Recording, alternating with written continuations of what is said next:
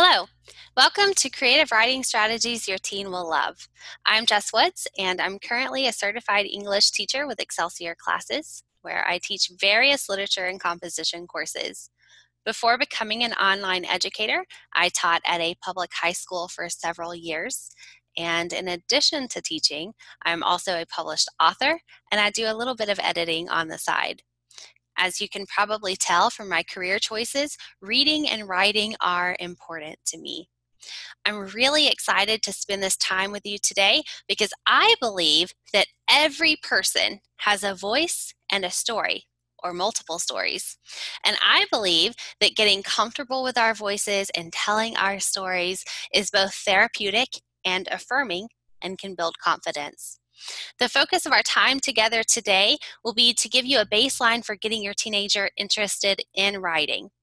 Now, does this mean that your student will magically begin to love writing the moment you implement some or all of these strategies? No. Does it mean that your student will love writing across various genres? Not necessarily. The goal is simply to get your student writing to build confidence and to expose your student to writing avenues they may not have explored before in a way they haven't explored before. In my experience, I run across four types of teenage writers, and perhaps your student falls into one of these categories. The first is the reluctant writer. This is a student who does not think he or she can write or who has no desire to write at all. The second is the inexperienced writer. This is a student who has the desire to write, but doesn't really know where to start or how to form pieces into what he or she envisions they want them to be. The third writer is the emerging writer. And this is a student who is comfortable writing and has some shining moments here and there, but needs overall instruction and exposure to really develop his or her, her skills. And then finally, we have the overzealous writer. And this is a student who thinks they've got it all figured out, but who hasn't really given enough thought and study to the craft. These are the students who come into my classes saying that maybe they've already written a book or even published a book. And while it is important not to discourage the enthusiasm, it's also important to make sure that these students understand that writing is an art and that it does take study dedication and a lot of revision to really make your piece into a polished piece. So maybe your student falls into one of these four categories. And the good news is that no matter where your student is, writing is for your student. Sometimes I find that students don't really have an understanding of what creative writing is, and that creates an obstacle. So it's important to be able to understand what it is. So, simply put, creative writing is writing that is not academic in nature. Academic writing would be things like scholarly journals, research papers, um, literary analysis, that sort of thing. Creative writing expresses ideas or emotions in a creative or artistic way. And one common misconception is that creative writing is always fiction, and it's not. Creative writing does not have to be fiction. So here are some examples, and perhaps you um, see an interest that your student would have here. So, poetry, short stories, plays, movie and television scripts, songwriting, greeting cards, comic strips, game development. I'm sure that several of you have gamers out there, and um, that storyline is part of creative writing social media. And then we have a whole genre of creative nonfiction, and we branch into things like creative journalism, memoirs, personal essays, blogs, and even speeches. Here's a really quick overview of what we are going to look at today. I've tried to list these in sort of a hierarchy of sorts, meaning that if we start at one, which is reading, that's a great place for any teenager, regardless of their writing experience. Um, blogging, fan fiction, mixed media, those are wonderful entry points into creative writing. And then things like prompts, guides, and poetry are really good for honing in um, skills and producing growth. So, this is a lot to cover. We're going to go kind of quick, but bear with me. The first thing is reading, and I don't know that you will find an author who does not think that reading is an essential part of the craft. Victor Hugo, who wrote Les Miserables, says to learn to read is to light a fire. Every syllable that is spelled out is a spark. Why is it important? Why do so many writers stand on the fact that reading is the foundation of the craft? Um, simply put, it teaches us so we learn things like grammar, syntax, dialogue, plot, characterization, all of that through reading. We learn vocabulary through reading. We gain inspiration through reading. It helps writers see as a reader does. So, if you're reading a story and you pick up on some pet peeves or you see holes um, or you see a sentence that is structured poorly, those things kind of internally get inside your mind and it really does help you to grow your craft overall. Reading also exposes writers to different genres and different experiences. And whether your student is going to be writing um, post secondary school or not, whether this is a real interest or not, uh, reading helps to build empathy, and that's important. It gives us access to experiences we wouldn't always have otherwise. So, this is why reading is a foundation and why it's so important because you absolutely cannot be a writer without first being a reader. So, that's a good starting place. The second thing is blogging, and this is a really good starting place too. Now, hear me out because I know this one sounds a little bit strange, but in my creative writing classes, we always start with blogging because of how easy of a launch point it is. And here's why blogging allows students to write about things that interest them. So it, it's not just like, okay, you need to go write a poem or you need to do this. This is literally you have control and you write about what is interesting you. Um, it also builds confidence it's good practice. Any type of writing, honestly, is good practice. And it doesn't necessarily feel like writing. Um, because your student is not going to be a professional blogger, they don't have to post every day. They don't have to kind of keep up with a blogosphere. It can just be completely undaunting. Some platforms that you might consider if you're going to go this route are WordPress, Blogger, Tumblr, Medium, Wix, and Kids World. Kids World is, I don't have a lot of experience with this, but um, it's supposed to be for users who are 13 and under. Obviously, anything you do on the internet, you're going to want to um, monitor that for your child. WordPress is probably the most popular, but WordPress and Blogger and Tumblr are all kind of ready made. You don't have to know coding, um, and there are templates. And so these are easy platforms to start out. Here are a few things that some of my previous students have said. I just want you to kind of hear that so that you can have an idea of why blogging might have a place in creative writing and why it might be a strategy you would like to use. These are all from students who were previously not writers. One student said, I never knew I could enjoy writing so much. That's positive. Another said, blogging has opened my eyes to a new passion. And then this is probably my favorite feedback from the whole blogging experience that I've had as a teacher. I continued my blog outside of class and have been able to encourage many chronically ill teens as a result. We've built a kind of community of support. It's great. So, blogging is a great place to start if you have a reluctant writer. Moving on to number three Fan fiction is also a wonderful entry point into writing. You may be asking what fan fiction is. Fan fiction has been around as long as storytelling has been around. So, if you go back to mythology, lore, um, any of that sort of stuff, you're going to see that there are variations. There are sometimes different endings for different folklores and myths and that sort of thing. And that's kind of where fan fiction started. But I would say about two decades ago, the digital age catapulted fan fiction into what it is now. it can be a great launch point for young writers, and here's why. Fan fiction allows writers and readers to ask speculative questions and reflect on what comes next. So if you have a um, a student who is really into Harry Potter or the Hunger Games or even a TV series that that is not a book in any capacity, um, you already have interest invested with that student.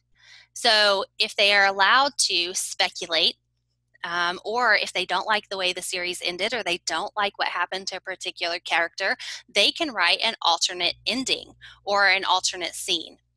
Um, and so that's part of why fan fiction is so popular.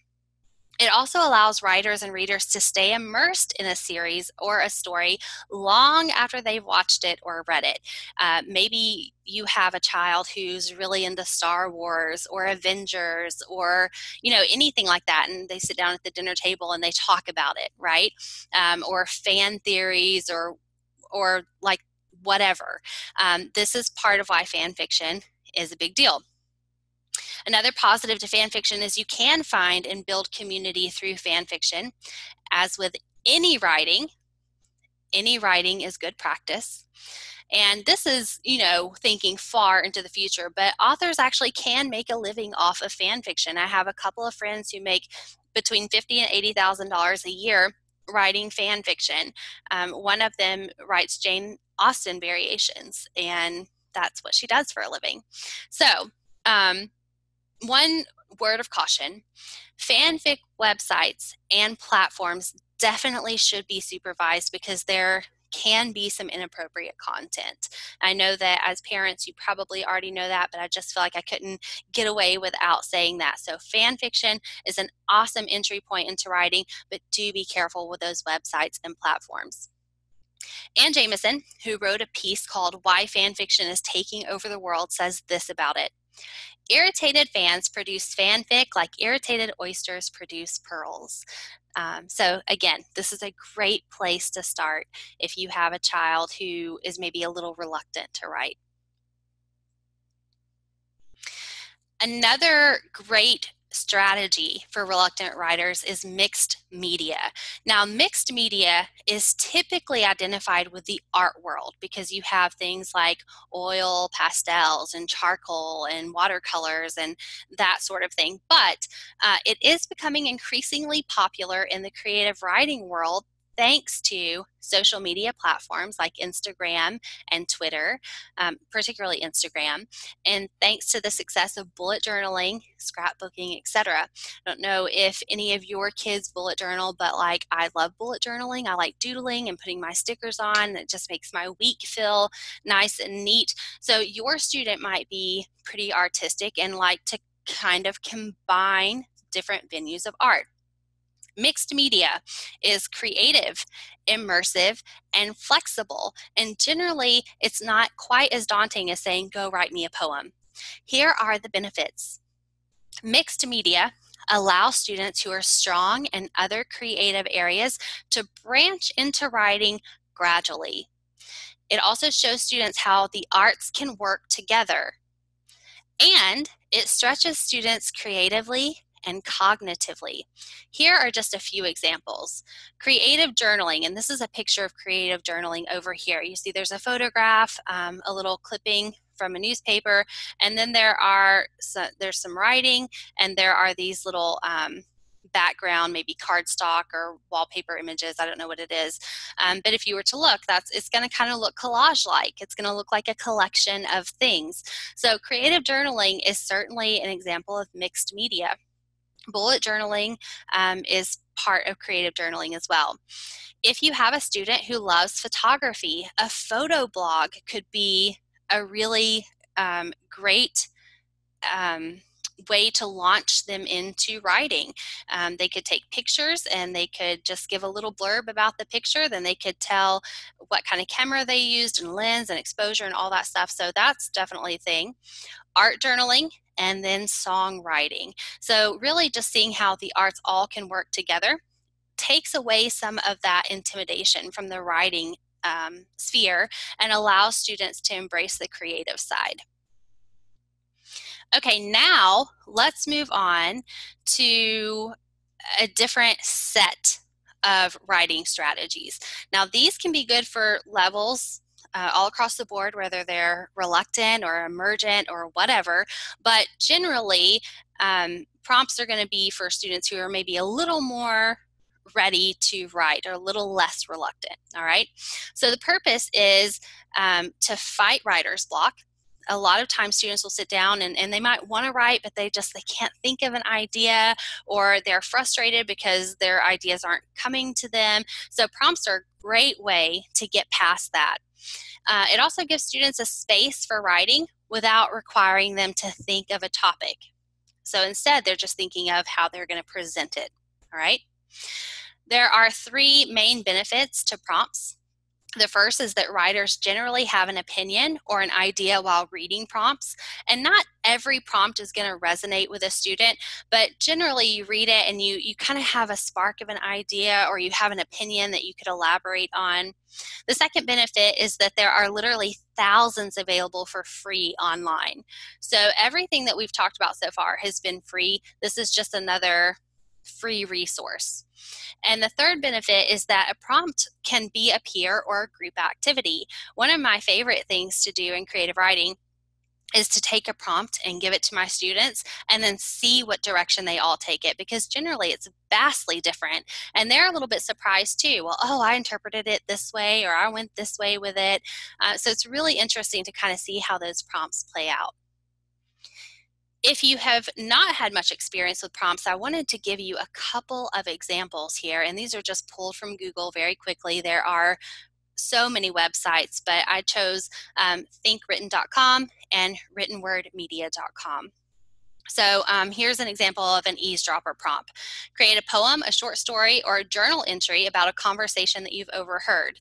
This isn't too different from what we might do around the dinner table or while we're out on a walk. If you are in the supermarket or you're at the park and you overhear something that you thought was funny or interesting, you might tell it to someone else, right? So um, just kind of writing that down. An addict prompt is kind of interesting. Everyone's addicted to something in some shape or form. What are things you can't go without? This can just be a basic response, or maybe they turn it into an ode to something that they feel like they can't go without, like technology or gaming or sweet tea, whatever it is. Um, the dictionary definition one is really fun. Open up a dictionary to a random word, define what that word means to you. So it causes students to think a little bit, but they're not having to necessarily come up with a topic. Or we can skip down to these that are a little more creative. When people are born, they are signed a soulmate. They have a song in their head, and uh, only them and their soulmate know it. How do you find your soulmate? Or this one write a story about a character waking up to something absurd. Um, or this this is a good one. Write a short story with an unreliable narrator that readers can never quite trust. Um, the unreliable narrator has gained a lot of popularity in recent years too if you're fami- familiar with the stories of Edgar Allan Poe, I think he probably was the master of the unreliable narrator. But certainly, it's really interesting to kind of get in the head of that unreliable narrator. Um, and students can take this any kind of way they want. So, prompts are really good to just get students writing to help them get past the hurdle of thinking up a topic. And again, thousands of these available for free online. Moving on, let's talk about guides. And I've broken this up into three different kinds of guides. The first is class. Um, classes are a great resource. Generally, you're not going to find these for free. You do have to pay for them. Um, but the benefits are you have guidance by a professional. And you do always want to check out who the teacher is and what their credentials are, um, if they're credible, that sort of thing. But generally, a class is going to be um, given by a professional, and so that guidance will be good. It provides accountability. It also provides feedback. So you'll you know, in a situation like this, your student will get feedback on what's being done well, what needs improvement, what's working, what's not working. I do think classes tend to build confidence and stretch students out of their comfort zones a little bit. It exposes them to new genres and styles, things that they wouldn't maybe have done on their own. Uh, classes have the potential for peer review. I can't speak for all creative writing classes because I haven't been in all creative writing classes, but generally, creative writing classes are going to have that peer review component that I think is invaluable to writing. And they can build community. So it's a lot of really good, solid benefits. I'm going to show you some examples of what a class can offer in just a little bit, but I want to move on to the other two before I do that. Another type of guide would be a book. Um, books are generally pretty cheap, so while you are looking at a bit of an investment here, it's not much. There are a ton of options available for creative writing books. These can be done independently or in a group, so that's a benefit to some people. Uh, I do think books are also good at giving guidance and inspiration. Obviously, not all books are going to be um, you know top notch but i particularly like the boris fishman series um, and if you are a participant you in this today you are going to have a chance to win one of my favorite boris fishman books so that's definitely one route that you might want to look at. And then the last type of guide that I think is beneficial would be clubs or groups. Clubs and groups also provide accountability they may provide feedback depending on how they're set up. They also build community. Clubs and groups can be done virtually or in person, and that's a real benefit depending on where you are. And I think they also build confidence. So these guides I think are really important, um, really for anyone. If you have a reluctant writer, I think that this could work. If you have an emergent writer, definitely could work. Um, an inexperienced writer, and even an overzealous writer, they could all benefit from classes, books, clubs, or groups. Let's take a moment to look at classes in a little more detail. Now, again, this is from my class because it's what I have the most familiarity with. I can't speak for all creative writing classes, but I, I think that there are some commonalities that you might be able to find in them. You would just have to reach out to specific teachers or organizations. So classes are really good for building community discussion and feedback and i think all of those things build confidence overall so you'll see that this is a an example of a blog up here the student can't do a whole lot because it's within our learning management system but there's a, a banner that she's created and kind of has the same sort of theme. There's a little bit of about me. Um, if you were to look on these sides here, these would be her weekly blogs and they can be if you look at this little chat icon you'll see that there are nine different comments so there's definitely interaction going on. This is the first thing we do in my creative writing classes because it is a nice launch point into writing. It gets the students familiar with one another they get to know each other um, and then their confidence is able to grow through that experience. So that's one thing. Um, I think classes also give you a really great opportunity to have some good discussion around writing and around what's going on in the writing world. So, in this particular discussion, they have been assigned um, an article called The Truth About Memoirs. It talks about blurring the line between fact and fiction and if that's really an issue or not. So, students read the article and then they discuss do you agree with this article? Do you not? Um, and you'll see that they, they definitely talk to one another there. And then the last thing is feedback. Um, this is a short story you'll see here, and I'm not going to read it to you. Um, I've given a little bit of constructive criticism, something that the student might want to think about because the reader might pause on that for a moment. It's not quite believable. Um, and then there's some feedback on what's done well and what could be improved. So I think that that classes work really well. Um, here is something that a parent said. This class really stretched his writing in a good way. I will never forget the excited way he called me in to say he had written a poem. Um, poetry, again, seems to be pretty daunting for a lot of students, so this is a big deal. And then from a student, Mrs. Woods taught writing in a way that made the work enjoyable. Before we started some of the projects or sections, I thought I was not going to like them very much, so this is those strategies to stretch students out, right? But Mrs. Woods really invested in us a love for writing. I've grown so much as a writer. You're not going to just get this kind of experience from a class. Um, any kind of strategy that you incorporate, I think, can stretch students out of their comfort zones and get them writing and get their confidence built. But I wanted to at least let you kind of inside a classroom for a moment so you could kind of see what that might look like. Okay, and now our last strategy is probably the most daunting one of all, and it's our poetry strategy. I do save poetry in my classes for a little bit later in the semester just because it inevitably is going to produce a little bit of fear and anxiety in students. And I think it's because students don't completely understand poetry and what it is. So let's talk about what poetry is very quickly. Poetry is writing that specifically focuses on feeling, emotion, and experience or experience. It gives more focus to literary devices and sound devices. So, poetry tends to be a little more lyrical. It doesn't sound as conversational. It doesn't sound like prose. It's not like you're just picking up a novel and reading it. It's going to sound different, and it's certainly going to look different than prose as well. I often get asked, well, what counts as poetry? Does it have to rhyme? Does it have to have a specific meter? And the answer to that is no. Anything counts as poetry, sort of. But the more a student gets familiar with poetry, and reads poetry, is exposed to poetry, and practices poetry, the more they'll be able to identify is this poetry or is this just someone who threw words on a page and didn't give it much thought or intention? All right. So that is kind of the basics of poetry.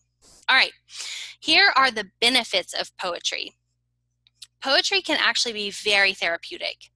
Um, I've had several students tell me after the poetry section, man, I just, I didn't realize that I could kind of unpack my emotions with this image. And um, it, it's just, it ha- has the tendency to be kind of healing. So that's good. It forces reflection and it forces intentionality. You're not just going to be able to spout off anything that you think of. You have to be intentional with your words because you have limited space in a poem, whereas in a novel, you wouldn't have, or even in a blog entry, you wouldn't have um, as many restrictions. So you have to be very intentional with your words, with your imagery, with your literary devices, that sort of thing. Poetry also gets students out of their comfort zones. And I love that because once a student can stretch outside of their comfort zone and they accomplish something, their confidence is going to grow and they'll be more willing to write something else in the future. Poetry is also timeless and it's irrelevant it's relevant across all cultures. Um, and it's also the foundation of songwriting. So if you have a student that's really into music or songwriting, poetry is going to be a great place for that student. So, how do you implement poetry? And there are several ways that I think work. The first is through prompts. There are specific poetry prompts that you can find, and Google will pull up a, a, ton of those as well. If there's a poet that you like, say you want to emulate Frost or E. Cummings or Emily Dickinson, or you want to make it really simple and look at something like Dr. Seuss or Shel Silverstein, you could emulate a specific poet you could try your hand at a specific type of poem. Maybe you want to write a haiku or a sonnet or a ballad. You could do that. Or if you want to start really easy and something that's kind of not as daunting, you could try Insta Poetry, which became famous on Instagram and Twitter, or micro poetry. And Rupi Kaur is um, probably the most famous micro poet at this point, or Insta poet at this point. She's done really well for herself. Um, you can see it's just really short and simple and really doesn't sound a whole lot different than just a status update, right? So there is debate within the writing world whether insta poetry is poetry or not. I tend to think that it's great. You're taking those words, you're consolidating, you're being intentional, um, so it works. So that's how you could implement poetry. Here are some types of poetry if you want um, an idea on what's easier or more difficult.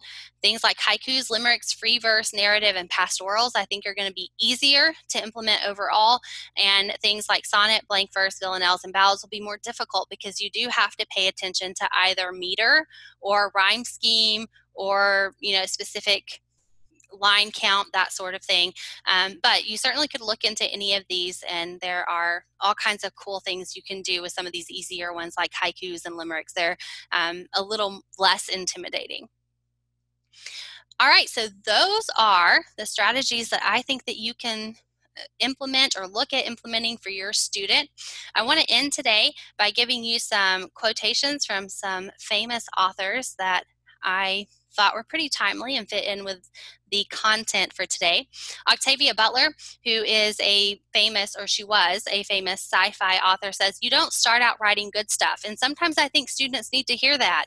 They're scared to even try because it's not going to be good enough. But she says, You start out writing crap and think it's good stuff, and then gradually you get better at it. That's why I say one of the most valuable traits is persistence. Just keep at it. Sylvia Plath, famous poet, said, and by the way, everything in life is writable about if you have the outgoing guts to do it and the imagination to improvise. The worst enemy to creativity is self doubt. And we kind of get through self doubt by persisting and trying new things and gaining confidence, right? Louis L'Amour said, Start writing no matter what. The water does not flow until the faucet is turned on. And then Anne Frank said, I can shake off everything as I write. My sorrows disappear, my courage is reborn. So that's kind of that therapeutic um, look into writing as well. I hope you've enjoyed this and gotten some great ideas for how you can um, implement writing for your teenager. I also wanted to give you guys my contact information just in case you have other questions. Maybe I didn't address here or you, you want to ask a follow-up question. You can contact me through my teaching information at Excelsior Classes. I'm not going to read that for you, but it's right there. Um, or through my author contact information, and you'll see that on the other side of the screen. Thanks so much for joining with me today. Happy writing!